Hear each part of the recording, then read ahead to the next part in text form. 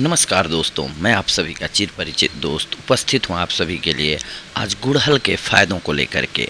गुड़हल एक आम सा फूल है जो कि देखने में सुंदर होता है।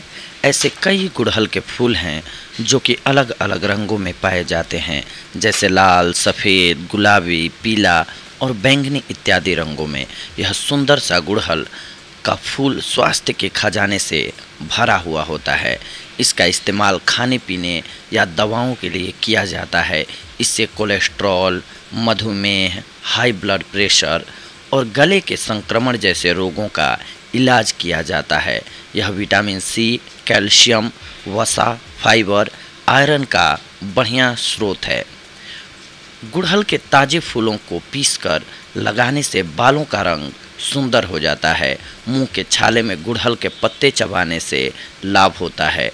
डाइटिंग करने वाले या गुर्दे की समस्याओं से पीड़ित व्यक्ति अक्सर इसे बर्फ़ के साथ पर बिना चीनी मिलाए पीते हैं, क्योंकि इसमें प्राकृतिक मूत्रवर्धक गुण होते हैं। क्या आप जानते हैं कि गुड़हल की चाय भी बनती है? जी हाँ गुड़हल की चाय एक स्वास्थ्य हर्बल टी है। ऐसे अनेक फ़ायदे हैं इस गुड़हल के। तो आइए हम जानते हैं आज इसके औषधीय लाभों के बारे में। ये सर्दी जुकाम एवं बुखार को दूर भगाता है, दिल के लिए फ़ायदेमंद होता है हाई ब्लड प्रेशर को दूर भगाता है और बैड कोलेस्ट्रॉल को भी दूर करता है।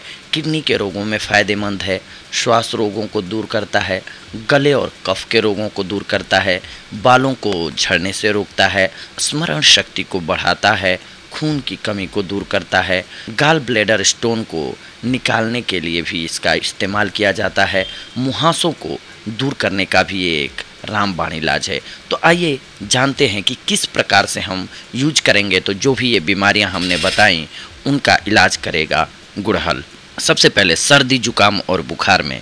गुड़हल से बनी चाय को प्रयोग सर्दी, जुकाम और बुखार इत्यादि को ठीक करने के लिए किया जाता है। दिल के लिए ये फ़ायदेमंद होता है। गुड़हल के फूल का अर्क दिल के लिए उतना ही फ़ायदेमंद है जितना रेड वाइन और चाय विज्ञानियों के मुताबिक चूहों पर किए गए एक नए शोध में पाया गया है कि गुड़हल का अर्क कोलेस्ट्रॉल को कम करने में सहायक है, इसीलिए यह इंसानों पर भी कारगर होगा। हाई ब्लड प्रेशर और बैड कोलेस्ट्रॉल के लिए ये काल की तरह कार्य करता है। अगर गुड़हल को गर्म पानी के साथ उबाल कर या फिर हर्बल टी के जैसे पिया जाए तो यह हाई ब्लड प्रेशर को कम करेगा और बढ़े हुए कोलेस्ट्रॉल को घटाएगा, क्योंकि इसमें एंटीऑक्सीडेंट होता है। किडनी के रोगों में फ़ायदेमंद।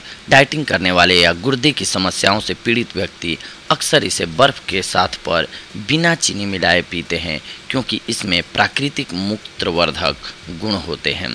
श्वास रोगों में ये बेहद कारगर होता है। गुड़हल का फूल काफ़ी पौष्टिक होता है, क्योंकि इसमें विटामिन सी, मिनरल और एंटीऑक्सीडेंट होते हैं। यह पौष्टिक तत्व सांस संबंधी तकलीफ़ों को दूर करते हैं। गले और कफ के रोगों के लिए, गले के दर्द को और कफ के रोगों के लिए गुड़हल की चाय बहुत ही उपयोगी है। बालों को झड़ने से रोकने के लिए, गुड़हल के फूलों का असर बालों को स्वस्थ बनाए रखने के लिए भी होता है। इसे पानी में उबाला जाता है और फिर लगाया जाता है, जिससे बालों का झड़ना रुक जाता है। यह एक आयुर्वेदिक उपचार है। इसका प्रयोग केश तेल बनाने में भी किया जाता है। यह स्मरण शक्ति को बढ़ाने के लिए भी उपयोग किया जाता है। गुड़हल के पत्ते तथा फूलों को सुखाकर पीस लीजिए। इस पाउडर की एक चम्मच मात्रा को एक चम्मच मिश्री के साथ पानी से लेते रहने से स्मरण शक्ति तथा स्नायुविक शक्ति बढ़ती है। खून की कमी को ये दूर करता है। गुड़हल के फूलों को सुखाकर बनाया गया पाउडर दूध के साथ एक एक चम्मच लेते रहने से रक्त की कमी को दूर कर देता है। गाल ब्लैडर स्टोन को निकालने में भी काफ़ी मददगार साबित होता है। गुड़हल का फूल, गुड़हल के फूलों को सुखाकर बनाया गया पाउडर पित्त की पथरी को दूर करने के लिए भी प्रयोग किया जाता है मुहासों को दूर भगाने के लिए। यदि चेहरे पर बहुत से मुहासे हो गए हैं तो लाल गुड़हल की पत्तियों को पानी में उबाल कर पीस लें और उसमें शहद मिलाकर त्वचा पर लगाएँ।